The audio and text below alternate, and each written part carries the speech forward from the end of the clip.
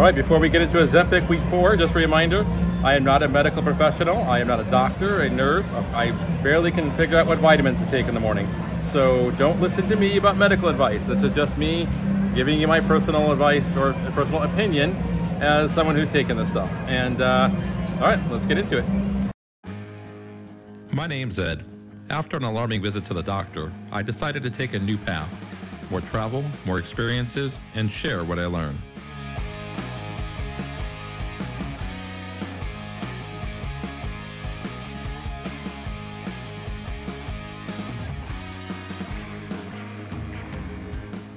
Welcome to the Tao of Ed.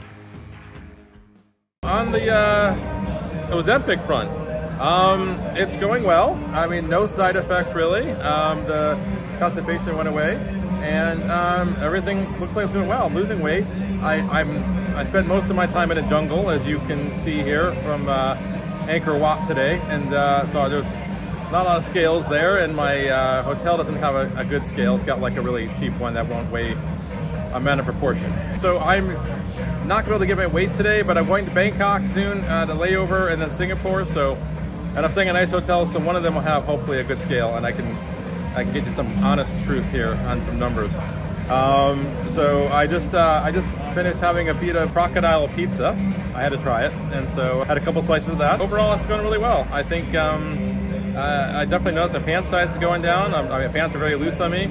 Um, appetite is uh, like I, I went to a French restaurant last night and um, food was amazing and I overate a bit and uh, I I felt it. I, it felt like I mean I, when I say overate a bit, I probably had like you know maybe two meals for my meal of the day. So probably you know maybe 2,500 calories. And man, it felt like I ate like 5,000 calories. I was dying. I couldn't believe I ate that much. I was and I kept thinking, what the hell did I, because I didn't, I eat that much. I ate, I ate a lot, but not like the way I felt. So that's good. It's going to stop me from eating that much again. I shouldn't eat that much. Um, and uh, yeah, so it's going well, and uh, I will definitely get some numbers for you soon.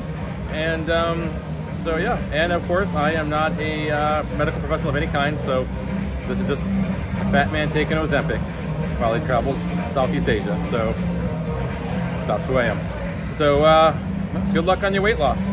I should add that I'm going from 0.25 to 0.5 milligrams uh, this evening, so uh, we'll see how that goes. I, I, actually was supposed to take it last night, but I didn't want to uh, uh take it and risk having some sort of uh, new side effect while I'm in the jungle um, with ancient ruins playing Tomb Raider. So uh, I actually, um, I'll do that tonight. So going from 0.25 to 0.5, and I'll let you know if there's going to be any any uh, side effects or complications when I when I have it. So I'll let you know that next week.